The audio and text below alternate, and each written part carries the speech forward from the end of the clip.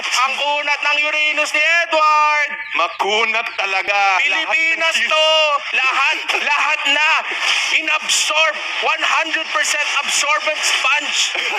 Para siyang sponge, nakakabukas lang. Ganun siya kalupit mag-absorb. As another turret will be taken by Blacklist International. Mukhang di na Let's go!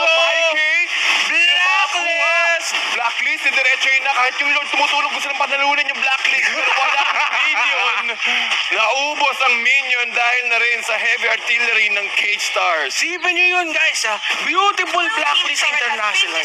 Nag-umpisa sa lahat yun nung na-pick off lang si Luis. Ang nangyari doon, nakaposisyon. Ito na naman, ang engagement ng Blacklist International. Word manipulation, makibinato pa. Nasa gilid lahat ng uh, K-Stars squared airstrike pero nakaiwas ka agad ang Blacklist. Mickey Oh, ang magiging target. Nag-diving nag-diving si Eagle Flapas.